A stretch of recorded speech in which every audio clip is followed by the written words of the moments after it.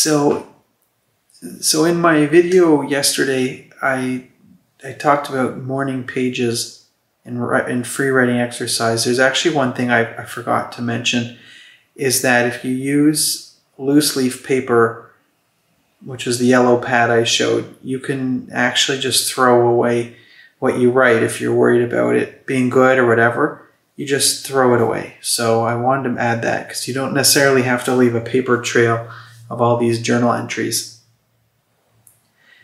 Today I wanted to talk about uh, why it's hard to to create stuff in general. And there's there's two components to this that I I think is I think is interesting to me. The first one is the idea of what is automatic. And that's part of what the free writing exercise is supposed to do is is teaching us about what comes automatically to us and hopefully we can transfer that automatic um, intunement is a, a good description transferring that over to our medium of choice if it's you know music or art i always give those two examples but this it's for for whatever you you're working on. It's not limited to those those two things by any means and and also um, you know people can work on these areas as a form of therapy as well. So they so playing an instrument not necessarily a thing that people are doing so that they can uh, become a big concert uh, musician or make records. You know, there's a lot of use in just playing an instrument, but there's a lot of in writing music too of your own. There's a lot of barriers that get in the way, which are, are mental. So I was talking about the automatic thing, and one of the the big areas that is automatic that we know of that you can easily put your, your finger on is really what what addiction is. And you know, when I was younger, cigarettes were a lot more popular. They're they're continually being pushed to the the curb, to the road. Smokers have a hard time uh, being being um, comfortable. I, I would imagine. I, I can't speak for them, but when I was younger, you could uh, smoke cigarettes um, in, in in like bars and probably restaurants too. When my parents were younger, people would smoke in universities and schools, and then um, the bathrooms had ashtrays in them. Movie theaters, airplanes. Um, so there was a there are a lot of opportunities for it that simply don't exist. And, and what happens for a smoker is it's fairly automatic. They, they can just um, puff away cigarette after cigarette. I was actually on a golf course last week and with paired up with someone I didn't know before with my dad and, and the guy was almost every other hole he had a cigarette lit up again. It was like did the last one not um, do what it was supposed to do? Like it was, uh, it, it was pretty interesting to see. Like he didn't need eight cigarettes or I don't know whatever how many he had in a round of golf, which is really inconvenient because you have to keep um, pulling out your, your club and swinging. You got to be on it, and um, clearly it was it was a behavior that was coming from his subconscious. It was not really a thing that he probably, he clearly was not in control. And the bigger thing that, you know, we think about, about that compulsion, um, think about how often we check our phones now, like, and I do it a lot myself. Um, would ideally, ideally not um, you know, ideally would check a few times a day. would hopefully check email um, a few times a day as well, but it's it it doesn't really work out that way. Or the news, check the news a lot, and so I, I wanted to just call attention to to that that um, we need to pay attention to these things that easily consume our attention that are not are not really our creative activity. And they they can take hold pretty pretty quickly and, and you can be left uh, without um, you will be pulled in the in the other direction and that's and the the phone is the other thing that that I think is funny about all this. It's it's like it, it, what comes into your senses shapes the the world and the and the and how you're going to spend your time.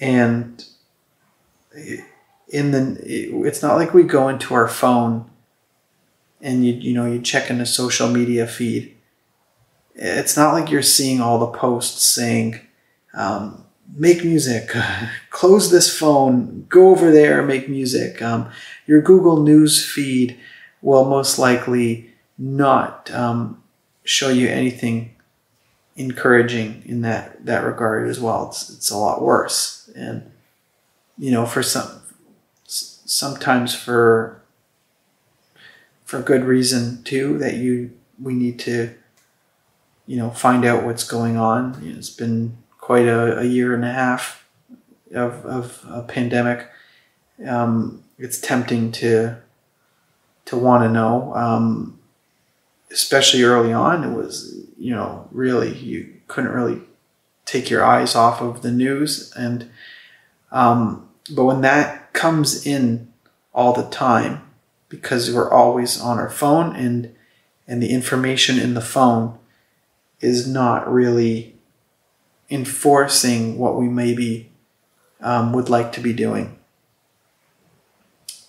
So the this is just some stuff to, to think about is maybe can you can you change the content of what comes in on the phone I, I, I honestly don't some people would say well then you can follow um, accounts on social media that um, speak to your interests more.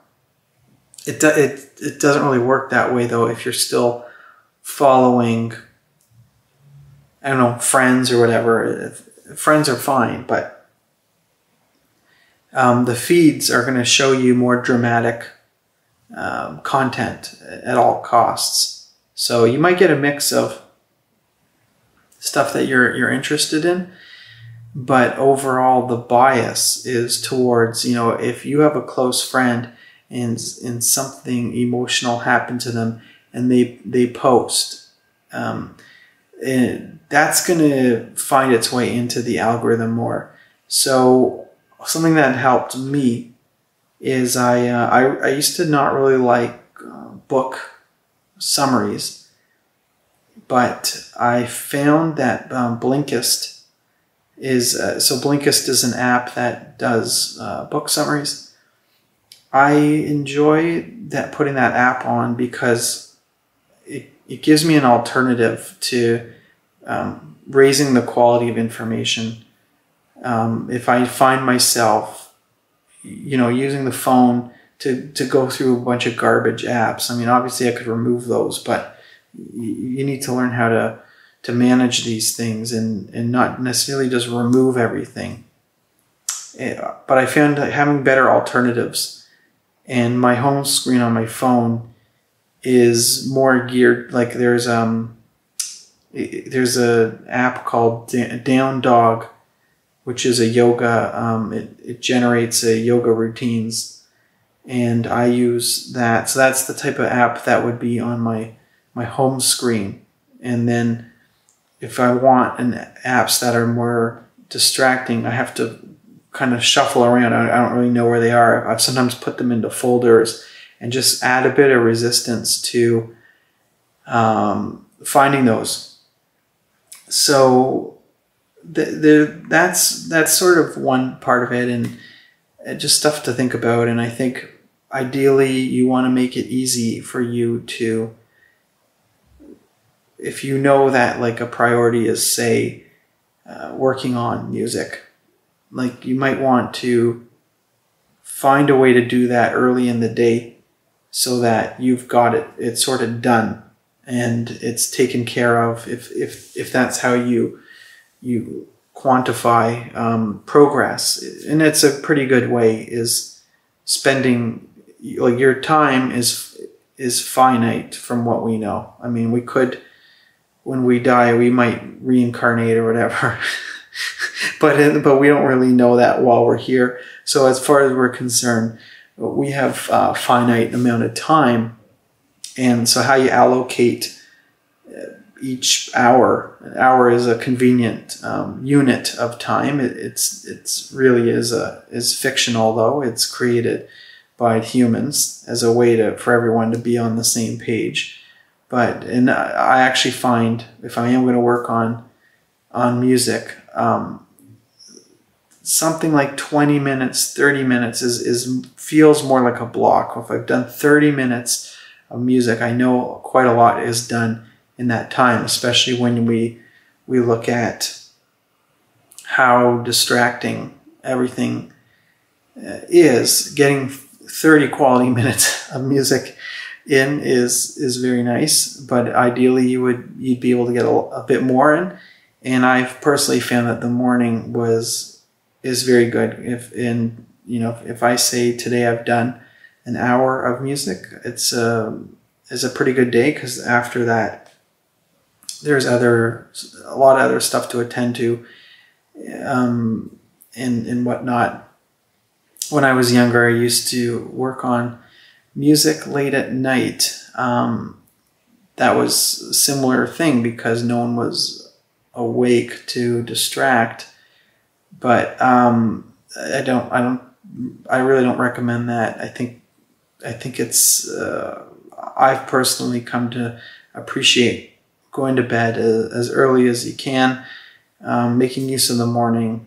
Yeah, not staying up late is is my preference, but yeah. So those are some some things to think about. Why it's hard to create and start to think about um, the information that that's coming in and and changing that a bit and, and make adding a bit more resistance to to letting information in that that doesn't really uh, line up with with your goals